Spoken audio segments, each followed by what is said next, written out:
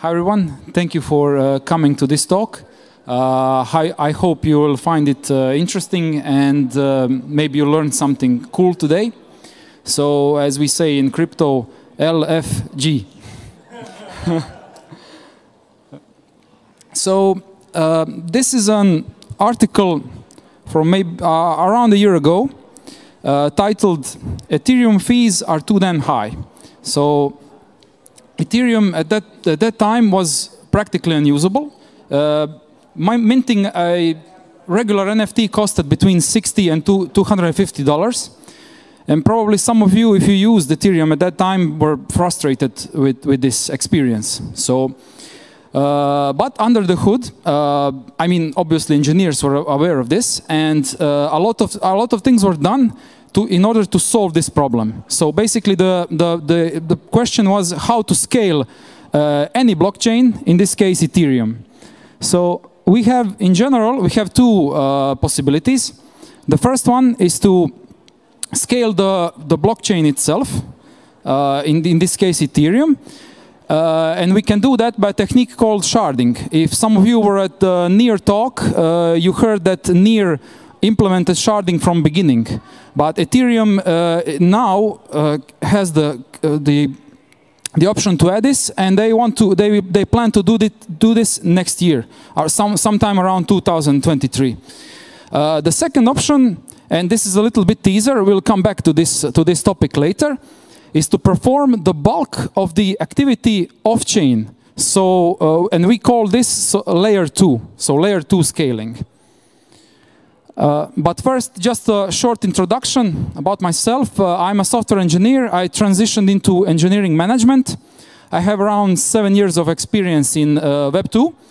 And uh, after that, I found new joy, basically, uh, through challenges in Web3 space and also contributing to, to open source.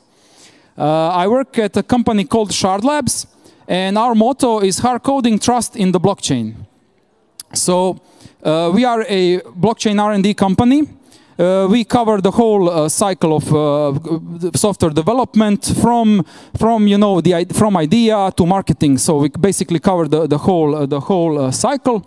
We operate worldwide, fully remote, and we are proud with our partnerships and um, projects that we did on Ethereum in partnership with the Ethereum Foundation. After that, Polygon, Lido, Near, and Starkware which uh, I'll come back to uh, later. Uh, the part of Shard Labs that I work in and is called Sh Space Shard. And what we do basically is uh, scale to help scale Ethereum with zero knowledge magic. So, um, as I mentioned, Starkware, um, we are we are one of the core partners of Starkware. It's a I would say a small startup from Israel. Uh, there are about 100 people, but are uh, evaluated at around eight, $8 billion. So uh, I guess this is like an indication of how much investors value this, this type of scaling. So a company of 100 people is evaluated, as I said, $8 billion. So um, their first first uh, product that they did was StarkEx around 2018. It's a standalone ZK rollup. I'll come back to this term later. It's a ZK rollup software as a service. So they um, they uh, offer this solution to other uh, companies. For example, DYDX. It's a trading uh, trading platform, and ImmutableX. And until now, uh, the total number of transactions that they uh, that went through StarkEx passed 200 million, and cumulative trading passed 700 billion dollars through through their StarkEx. Uh, after that, they they saw that this solution uh, makes sense, and they decided to offer this solution in form of Starknet, which is a basically a, a new, uh, let's say, layer on top of Ethereum it's a permissionless decentralized ZK rollup. As I said, we will come back to, to what the ZK rollup is. But now any developer can deploy a dApp using smart contracts and achieve unlimited, unlimited scale. So um, we as partners of, of, of Starkware, we our work consists of building uh, a couple of products, which are mostly tools for, for developers building on Starknet. Uh, one of them is DevNet, which is basically Ganache. Uh, has anyone used Ganache for Ethereum? Yeah, so basically this is DevNet is Ganache for Starknet. A plugin for Hardhat, you probably heard about Hardhat. And Starknet, we contribute to Starknet JS, which is basically Ethers JS for, for Starknet. And other than that, we provide uh, consultancy, basically helping, advising projects who want to move their solutions over to, to, to Starknet and start using the, the scalability offered, offered by it. Uh, now that I introduced ourselves, uh, we can come back to the, to the main topic of the talk, which is basically like, okay, how does this, uh, how does this even work? Like, how do we perform the bulk of the activity off-chain? So we do this with a technology uh, called called rollups. So it's a it's a term used by by this by this uh, for this technology, and uh, basically the idea is to process transactions off chain. So use so take take off some transactions from Ethereum and bring them over to this new chain, process them over there, batch them, compress them. So uh, and then deliver them back to the main chain, in our case, Ethereum. So just an example, we, we basically take thousands or even 10,000, hundreds hundreds of thousands transactions uh, to do this layer 2, we call it layer 2. We compress them and basically on Ethereum or, or L1, you get just one transaction. How does this make sense? How does this work? We'll, we'll shortly come to this, so don't worry. Uh, just a little bit patience. Uh, so basically, this is a synergy between L1 and L2. Uh, you may ask yourself, like, why cannot one, one, just layer one offer offer all of this? But it's, it's unfortunately, it's not possible.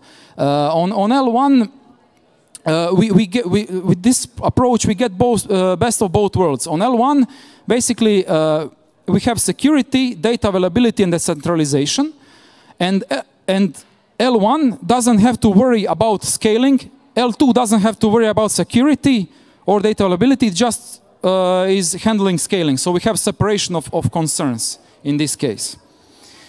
Um, we have two couple of uh, two two types of uh, rollups. First, the first ones that came uh, are so-called optimistic rollups. Um, the mechanism that that's under the hood of them is it's called fraud proofs. So you basically assume that transactions are valid that are coming from L2 to L1 until proven otherwise. So you have a period of one week where someone can dispute a certain transaction and, case, and can say like, okay, this transaction is fraud and roll it back. Like, um, um, complexity of optimistic rollups is, is low, so you already have like working working projects like Arbitrum and Optimism who already like uh, help uh, scale Ethereum. But um, in the meantime, research continued and uh, we have a new, like, like a little bit newer uh, version of rollups, which is called zero knowledge. That's basically ZK that, that I mentioned in the, from the beginning of the presentation. And this works in a little bit different way. It has validity proofs, which are instant. You don't, you don't need to wait like one week for, for some kinds of disputes. Uh, everything is known at that point in time. The, uh, let's say, a little drawback of this approach is uh, you, you spend more gas, as you can see from the comparison, and the complexity is a little bit higher uh, of this approach. Uh, but in the end, like as time goes on, we see that uh, zero, zero knowledge rollups are gaining more and more um, market share and traction in favor of optimistic rollups. So more, more people are starting using them over optimistic ones. So basically they are winning the, the, the race. Uh, projects that use zero knowledge, that are based on zero knowledge uh, rollups are Starknet, ZK Sync, and uh, Polygon Hermez, or Polygon ZK VM, uh, recently rebranded. So, um, so okay, so let's dive a little bit deeper into, into how, ZK, how ZK rollups work. So basically, as I said, you as a user, uh, you want to interact, uh, basically you would interact with layer two. You would interact with uh, some kind of rollup. initiate a transaction, and then after this gets uh, like uh, uh, there's a little thing called proof that gets generated on on on the rollup, which I'll come which I'll explain a little bit later how that works. But basically, after that, you have a, on on layer one on Ethereum, you have a smart chain, a smart contract on chain, which has two tasks. First, uh, first task is basically processing deposits and withdrawals, and the second task is verifying those proofs that I mentioned. So we'll, we'll come back to them. But uh, basically, you want to verify that everything that happened off-chain is following the, the rules. Uh, and only after everything is valid, that you know everything is valid, the layer one blockchain is updated. Uh, in, in our case, the fact that data is on-chain is key. So anyone can uh, basically locally process all the all the operations that happen on the rollup. And this this is also like as I said, like the security that's provided by Ethereum. This is basically uh, the, the, case of this. So you can fraud detection, initiate withdrawals, etc.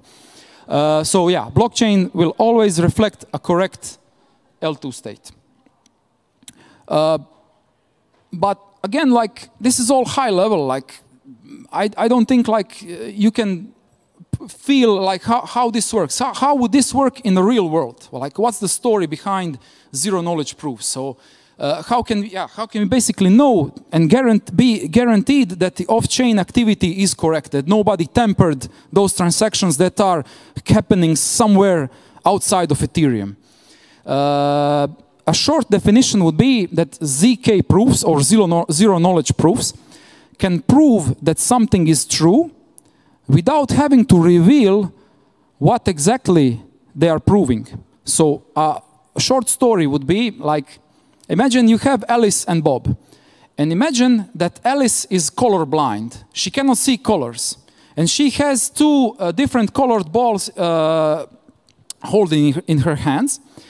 And Bob wants to prove to her which ball is blue and which ball is red how can he how, how can he do this? He, he can like tell her but she she obviously she doesn't want to believe him yeah? So basically what she what she can do is um, take uh, like put her hands behind her back uh, before that show show to bob like okay uh, i have like let's say blue ball is in the right hand the red ball is in the left hand and put the hands behind her back.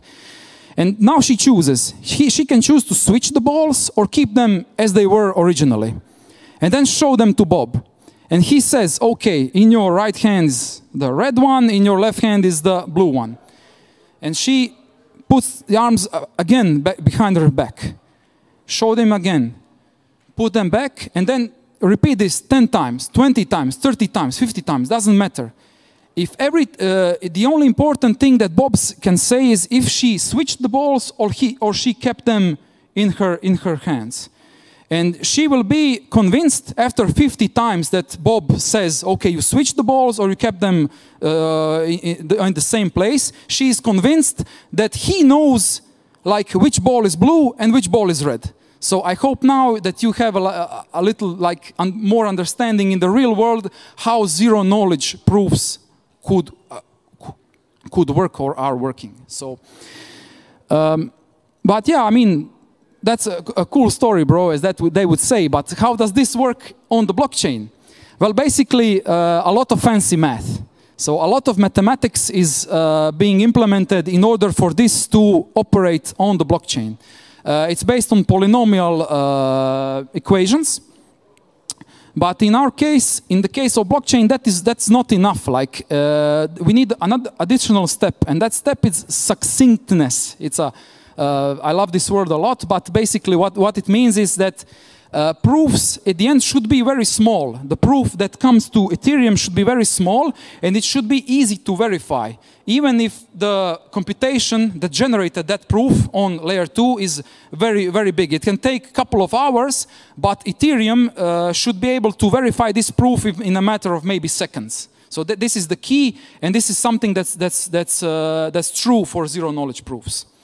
Uh, as, I, as, I, said, math is the underlying, uh, cryptography and math is the underlying foundation how, how this works. You have a lot of uh, tutorials online if, if you're interested in, in learning more. So um, basically we have uh, two types of zero knowledge proofs, but um, the first one is snarks. Uh, the problem with snarks is they, they, they came first.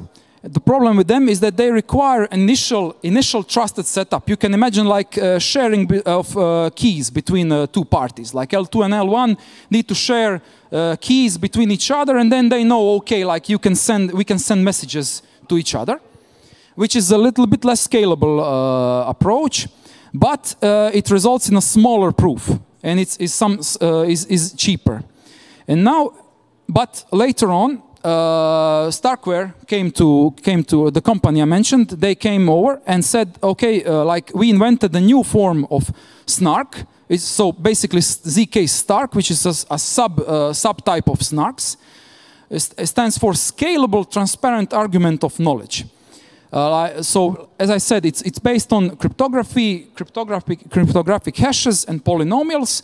But in case of Starks, the, um, the advantage is that they do not require initial trusted setup, as Snarks did. So in, as a result, they are more scalable, also quantum resistant, and but unfortunately, a, a little bit uh, downside is that they uh, have a larger proof and need a little bit longer time to, to verify the, the proof. Uh, ZK Stark's focus for now and Starkware's focus for now is scalability. Uh, there's also an interesting possibility that's now uh, that's now coming into play in the near future, uh, very soon, is recursive layers. In in our case, layer okay, we, we talked about layer one, which is Ethereum, layer two, but now it's possible to have layer three, layer four, layer five. Doesn't matter. So you can like stack these layers uh, and then and then like deploy apps on let's say layer three, layer three, and they can interoperate with each other over layer two, which is much cheaper than interoperating via Ethereum as before. So this is an interesting case. And um, as they said, like Vitalik, even uh, he released a blog post a couple of days ago uh, regarding this topic, where he explained a little bit more about uh, uh, recursive layers and what makes sense and what doesn't make sense with this approach. So basically this is more like an application uh, scaling. So layer 3 would be uh, like uh, applications can choose what types of scaling they want and, and what types they, they don't want. And privacy, for example. Um, so yeah, like we, we went a little bit high level through, through all this to, through all this story. So I want to wrap it up uh, how, how one transaction would, uh, how the flow of one transaction would look from Starknet to Ethereum. So basically, when a transaction is submitted to, to Starknet, uh, it goes to a node that's called sequencer. Uh, sequencer's job is to batch all of the transactions and send uh, the list of changes caused by all the transactions over to, the, to a new component called prover. And this prover's uh, task is to generate the proof. So one, one hash, just one hash, out of let's say 100,000 transactions, one hash, like a proof, will be sent to Ethereum. And then uh, it's sent to a smart contract. Uh, yeah, like it's, it's called verifier. And this verifier will quickly rerun this proof and see if everything, if everything is okay. If everything is okay, uh, Ethereum, Ethereum state gets updated and everything is, everything is fine. Uh, unfortunately, there's uh, one problem with, with this whole story. Uh, generating proofs is not uh, so trivial, uh, tri trivial task. Not, not really generating proofs, but generating them uh, efficiently. That's not so easy to achieve. That's why Starkware uh, had to invent their own language, which is very optimized into generating mathematical proofs. It's called Cairo. It's actually a general purpose language. You don't have to use it for just writing smart contracts. You can use it to build any application. Uh, in, in, our case, it's, it's needed. We, we need to learn it in order to, to work on with Starknet. to, uh, to, to write smart contracts. It's, it's, for now, it's very low level. It's uh, very similar to assembler, if, you, if any of you like had anything to do with assembler. Um, but there is a new version coming, 0, uh, 1.0 is gonna be very similar to Rust. So if some of you have experience with Rust, it's, it's gonna be, syntax is, is will be uh, familiar. Um, one more problem is that Starknet and Cairo are not EVM compatible. So you cannot take an ex existing smart contract written in Solidity and deploy it on Starknet. It won't work. Uh, but there is a there is a, a, solution that's also being it's also in progress, uh, being worked on, like a Solidity transpiler. It's called Warp, uh, being built by, by a company called called Nethermind. So we'll see in the future how this is gonna uh, play out. Uh, but yeah, I mean, like learning a new programming language is always a friction. Uh, it's always a problem. People are gonna be reluctant to it. So I have I have something else to show you, which is quietly becoming more and more like uh, talked about. These are ZK EVMs, so zero knowledge EVMs. These are chains that are uh, still in uh, work in progress, but the idea is that you can port uh, Solidity smart contracts and or uh, maybe even port them one, one on one, so without any changes, or do minimal changes in your dApps and port them over to, to this uh, layer 2 uh, and use all the benefits that come, that come from them. So we have three projects. Uh, Matter Labs company is building ZK Sync. We have the Polygon ZKVM and Scroll ZKVM. So these are all very interesting projects. They're gonna be, uh, I think, very big in the future, and we'll, we'll see like how this is gonna gonna play uh, play out. So one, one let's say, slide, uh, one picture uh, regarding this whole ZKM, ZK EVM story is just to show you the trade-offs between compatibility and performance uh, when we talk about ZK EVMs. So uh, here we have like, if it's completely EVM uh, compatible, the problem with this approach is that uh, it is going to take a very long time to generate a proof. But once you lower the EVM compatibility, like uh, here you have points like 2, 2.5, uh, 3, uh, and 4 at the end. When you lower this compatibility, you get uh, more speed into generating uh, generating of proofs. So it's not like you, you, you, you win some, you lose some in this situation. You cannot have like uh, basically everything for now. Who knows what's, as I said, this is still like work in progress and research is being made in a year or two is really it will really be interesting to see uh, how all of this will play out. So yeah, that's that's basically uh, that's basically it. Uh, I like as I said, uh, keep an eye, keep an eye if you're interested in in blockchain, in Ethereum. Keep an eye on layer two solutions. Um, we, we are not sure like who who will win. Like is it gonna be Starkware with their approach or maybe other like as I said ZKVMs? But sure, it's sure gonna be interesting. That that that's something I know for sure. A really interesting uh, journey. Uh, that's it. Uh, thank you very much uh, for being here.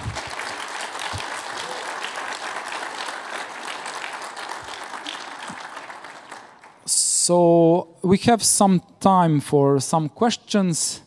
Uh, and I, I, I, saw the good. It's a good idea from the from the from before to take a selfie. So don't mind me doing that also. okay. Thanks. Fronty. Fronty. Fronty. How do you do that? like this? Okay. Okay. okay. Thanks wave. Okay. Uh, maybe someone, any questions or? Uh, just one question. So you mentioned layer twos, layer threes, layer fours, and layer I don't know. Like, how does that change for us developers? So what do we have to choose the layer? You know, how does that behave for us? Uh, ideally, as a user, you won't know which layer you choose. So that's that's the idea. Uh, everything should happen behind the scenes, and as a user, you would just have your wallet or your dApp, and that's it. So, in ideal ideal scenario, and we are going in that direction. So, I, I'll repeat if you yeah.